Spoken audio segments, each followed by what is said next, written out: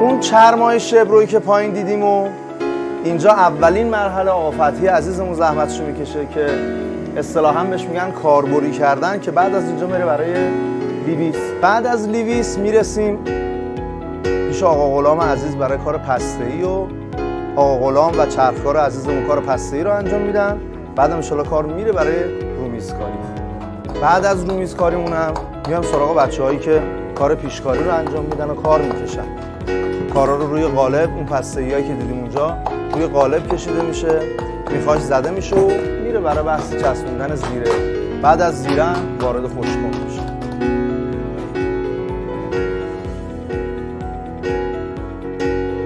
من نظر شخصی اینه که ما کسی رأی بدیم که واقعا هم برامون کار کنه هم دوریز نداشته باشه و بتونه برای ما کارایی داشته باشه.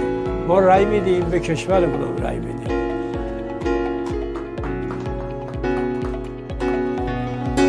این چرم بهترین چرمه. اما اگه تمام اون مراحلی که با همدیگه دیدیم به موقع به جا انجام نشه تبدیل به این کفشا نمیشه. انتخابات هم همینه. رأی دادن وظیفه ماست. رأی میدیم. اما باید نماینده ای رو انتخاب کنیم که چرمش دورریز نداشته باشه که جنس خوب تحویل ما بده. کفش خوب تحویل ما اون نماینده به جای ما داره تصمیم می‌گیره برای مملکت. انشالله که نماینده ای انتخاب می‌کنیم که بهترین ها رو برای ایران ما به ارمغان بیاره و ایرانی آباد خواهیم داشت. پای صندوق های رأی همدیگر رو می‌بینیم.